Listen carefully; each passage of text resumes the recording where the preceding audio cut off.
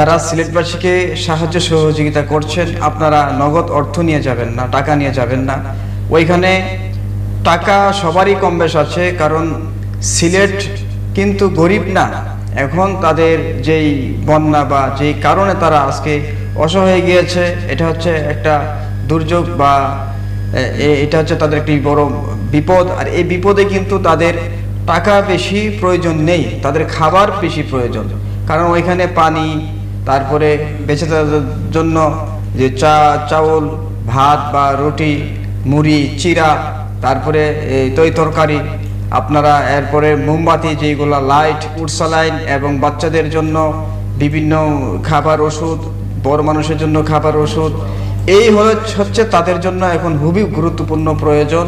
এই টাকা আপনারা কালেকশন করতেছেন, আমরা দিচ্ছি বা যেখান থেকে দেওয়া হচ্ছে, সকলকে অনুরোধ করব আপনারা ওইখানে টাকার পরিবর্তে যেগুলো প্রয়োজন সাময়িকভাবে নিত্য প্রয়োজনীয় যেগুলো চলাচলের ক্ষেত্রে প্রয়োজন, ওইগুলো নিয়ে যান।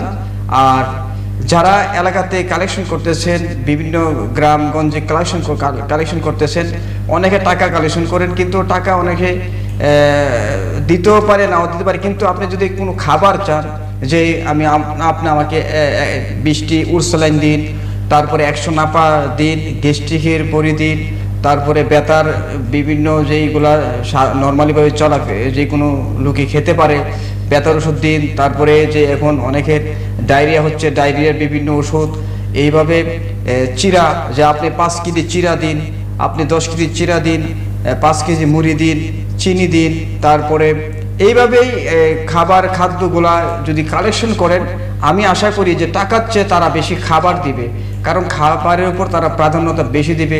অনেকে যেমন পেঁয়াজ রেশন রান্নাবান্না করতে রেশন পেঁয়াজ, তারপরে এই ডাল, তারপরে আলু, এইভাবে এইগুলা যদি আপনারা কি করেন কালেকশন করেন, আমি বেশি বলতে পারব যে তারা এগুলা দিতে বাধ্য তারা এগুলা বেশি দিবে।